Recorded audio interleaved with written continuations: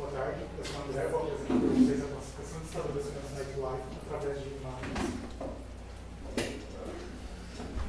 Então, o Yelp é uma rede social onde os usuários eles compartilham as experiências através de comentários e fotos. Esses comentários e fotos servem como referência para novos usuários decidirem se vão ou não nesses estabelecimentos. Com isso, ter uma informação precisa do que o, do que o estabelecimento oferece é muito importante para atrair novos usuários. Com isso, a ideia desse trabalho é inferir a categoria do estabelecimento, o serviço que ele oferece, através das imagens. Para esse trabalho em específico, foi simplificado só para duas categorias, categorias Nightlife e outras. Então, para os dados utilizados, foi utilizado o Yelp Dataset Challenge, que é um dataset que contém é, diversas fotos e as categorias desses estabelecimentos. Como o poder computacional era limitado, foram demonstradas 5 mil imagens desse dataset, aleatoriamente, de forma a balancear as classes. Então, o mesmo número de imagens de Nightlife estava com o mesmo número de imagens da classe Outros. Essas 5 mil, 5 mil imagens foram separadas em dois grupos. 4 mil imagens para treinar o modelo e mil imagens para fazer a validação desse modelo. E depois, com o modelo já validado e treinado, foram utilizados outro mil, outros mil exemplos, é, sorteados aleatoriamente não balanceados, para fazer o teste em cima desse modelo. Aqui tem um exemplo de imagens desse dataset. Uma imagem está é, tá associada a várias categorias desse estabelecimento. Nesse trabalho, como foi feita uma simplificação, se ele tem a categoria Nightlife, ele foi atribuído à classe Nightlife, se não tem, ele foi atribuído à classe Outros é um exemplo da simplificação. Essa imagem passou a ser Nightlife e essa ser Outros. O modelo foi utilizado na rede convolucional do IgG.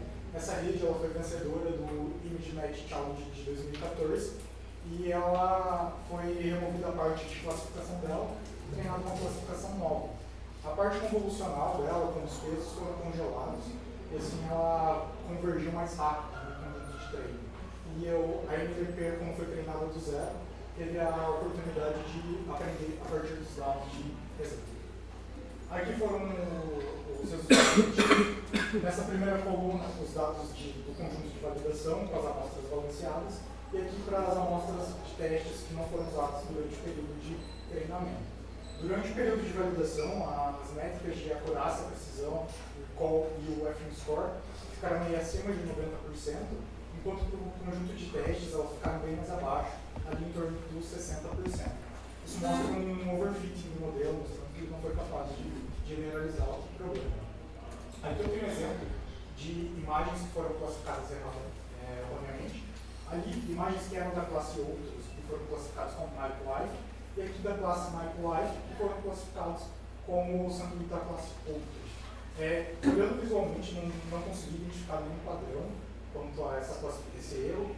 A princípio eu até achei que ele estava classificando imagens escuras como Nightlife, mas depois observando, começaram a aparecer também na classe Outros, eu vi que era só a ordem que estava sendo apresentada no modelo.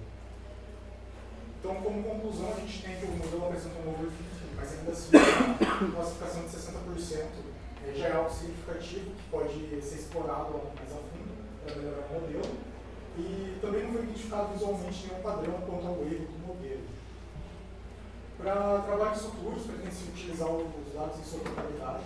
O dataset é bem grande e com isso pode até resolver o problema do overfitting.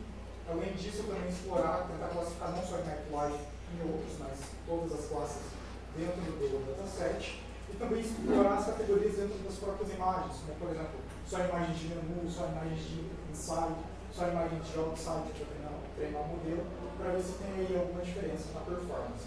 E também, como foi feito o Transfer Learning, é, a ideia é explorar outras redes para ver se tem um, um comportamento diferente nesse treinamento.